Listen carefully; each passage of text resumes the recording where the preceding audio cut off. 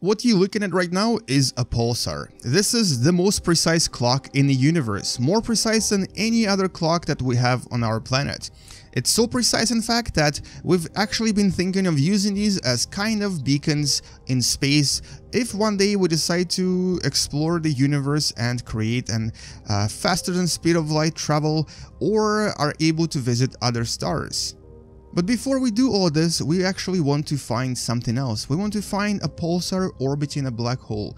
This is actually known as the holy grail of astronomy because if we're able to find one where a black hole and a pulsar coexist together and orbit around each other, we can use this to study both of them and specifically we can actually discover new awesome things about gravity, about special and general relativity that Einstein uh, proposed over a hundred years ago.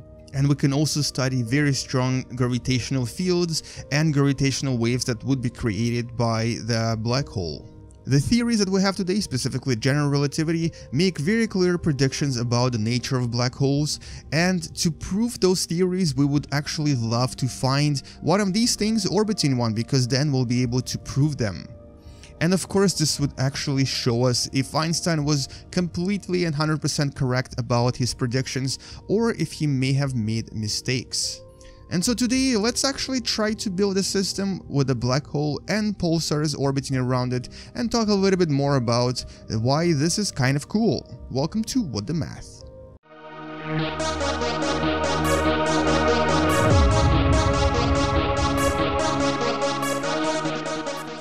And the kind of a black hole that they want to find is something like this. Uh, a black hole that's not too massive, about uh, 5 to maybe 10 masses of sun, and a pulsar orbiting around it. So if we can actually find something that looks like this, and you can kind of see them dancing around each other, we'll be able to use this data to study all kinds of uh, gravitational disturbances created by the black hole, and uh, all kinds of really interesting theories will be finally resolved if we can actually uh, discover this.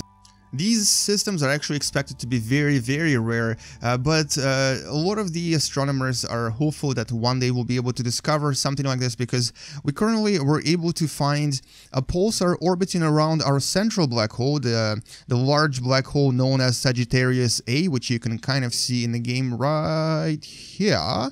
Here it is. It's about 4.3 million masses of, of uh, our sun, and it actually is very, very large. This is how big it is. This is how large it's it would actually envelop all of these objects easily. If I were to place this right here, it would actually possibly just suck them all in in an instance. There we go. Let's see what happens. Uh, so there they there they go flying toward it as they're still orbiting around each other. And basically, um, these two objects are gone.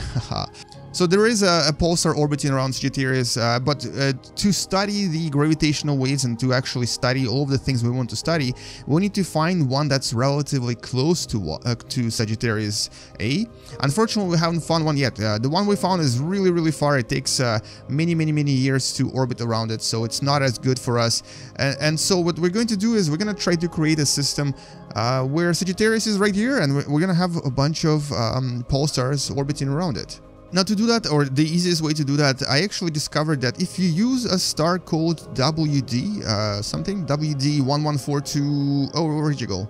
1142645, uh, also known as carbon white dwarf star, you can basically place these um, anywhere you want, really. I'm going to just place one here, one here, one here, one here, and a bunch more. And I'm going to have some orbiting in other ways, other fashions as well.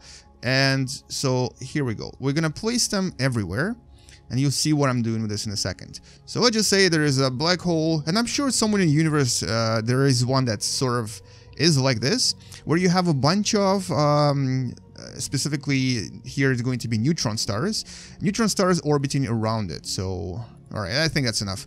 Now we're gonna stop this for a second and go into properties for each of these little guys scroll down up to the point where it says make pulsar and then we're gonna click this button now you'll notice that initially it makes it so that its um, streams are too small.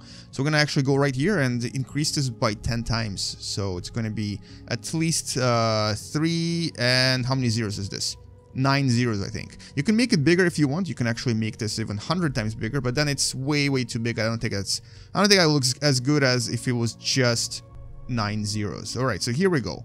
And do this for each one of them, and then what you get is this. And if I start simulation now, you'll see that all of them are orbiting this beautiful black hole in a very interesting fashion. So this is essentially the little dance of let's actually remove this little dance of the pulsars around the black hole uh, now you can change the rotations and uh, so not the rotation but the actual spin of a uh, each each one of these pulsars by going in here and changing the uh, magnetic pole degrees uh, so here I can actually make this 45 degrees and it will actually have a sort of a different spin uh, now, these spin really fast. You actually have to slow down to see what's happening.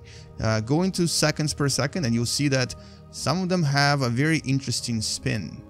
And if you want them to spin even more, what you can do is you can also go into motion and then tidally lock each one of them so they actually start uh, moving a little bit when, uh, when they're orbiting the black hole. And if you want to give them a little bit of a wobble, uh, under motion here and angular velocity, if you give this value a little bit of a setting, like for example 0.1, here you go, here's one that starts wobbling a little bit and you can then go into the uh, magnetic pole angle here and change it a little bit. If you don't like it wobbling too much, make it lower. If you want it to wobble even more, make it higher. So here, here's a 40 degree wobble that sort of looks like this. Now, I'm to try to play around with this just to make it look a little bit better. And let's see what we can get here by basically changing all of these and making them really, um, really different from each other. And so here we go, all of them are basically flipping around and spinning in very different fashion and you can accelerate this just to make this a little bit more crazy. But what's interesting here is that so because this is a black hole and because it's uh, obviously very very very massive and creates a very large gravitational field around it, and so here we go, we have a bunch of pulsars going around the black hole in a very very interesting fashion. All of them are uh, basically spinning and flipping in different different ways, so it kind of looks very unusual and very cool. And it's very possible that somewhere out there there is a galaxy that has something like this, a bunch of uh, pulsars orbiting around a very very massive black hole in the middle. And so what we might see from a distance is something that looks like this. Uh, we see uh, light dancing around and changing its luminosity and changing all kinds of radiation that it sends out toward us. So sometimes it's going to be X-ray, sometimes it's going to be uh, gamma rays, sometimes it's going to be just pure light. And uh, if we zoom out, it sort of looks like this. It's uh, it's a very interesting uh, luminous object that will definitely change its brightness um, quite quite a lot. And so what it made me think about is one of the previous videos from last week was about quasars and blazars. And what we know about them is that they are very luminous and they do change their brightness. So for all we know, maybe one of those blazars or quasars that we're looking at right now is this uh, because here we have um, what we know about uh, for example blazars is that they they always change their luminosity. It's never predictable. And in a sense it's actually similar to what you see here. So they do send out a lot of various types of um, waves. Uh, so it's not just um, x-rays or gamma rays. It's actually everything rays. Um, and our previous explanation about it was that it, it, was most likely because of the way that matter is accreted and uh, sent out into the outer universe um, using the black hole. And I think I kind of explained in the video, we are not really sure how exactly it works. We just know that it, it sends out uh, two sort of uh, rays from the central black hole. So one is goes up like this and one goes down like this. And uh, one of those rays is pointing toward our planet. Now that's one explanation, but you know what? I kind of like this explanation as well. What if it's actually a black hole that has a bunch of awesome pulsars around it? But anyway, just finding at least one black hole with a pulsar next to it would be pretty awesome. So like I said, they're actually very, very rare. We still haven't found one where they're relatively close together. And once we find one, you'll actually probably know about it because it's going to be all over the news. It's something that uh, astro astrophysicists and astronomers have been looking for for a really long time. Anyway, let's actually do something different. Let's uh, increase the magnetic field value here by 10 and let's see what this looks like when we actually do that. Alright, this is going to be really, really bright, but here we go. Look at that. This is awesome. So this is what a very very bright black hole with a bunch of pulsars might look like from a distance and look at that it's this is pretty far away and we can still see it uh, blinking and shimmering in the light uh, and so like I mentioned before because of the number of galaxies out there it's very likely that there's at least one that has a, a very massive black hole and many many pulsars orbiting around it whether it looks like this or not that's another question but it might exist uh, and whether one of the pulsars or quasars that we're observing uh, currently are actually this is another question. Now, what do you guys think? Do you think that possibly one of the quasars, or possibly even all of them, are actually this and not what we thought they were? What if it's actually black hole covered in pulsars?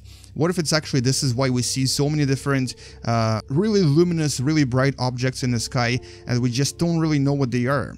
And of course this would explain why we actually do see things like um, X-rays and gamma rays coming out of quasars, but it would not explain why we see things like radio galaxies, because uh, radio galaxies, quasars, and blazars are obviously related. It's the same object just from a different angle like I explained in the previous video, but I think it makes for a pretty interesting hypothesis. So if one day we'll find something similar to this, it will explain quite a lot about the universe and will of course uh, finally help us understand gravity and gravitational field a lot better.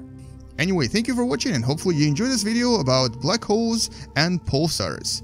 Now you know how to make something similar to this and how to essentially make one of the brightest objects in the game.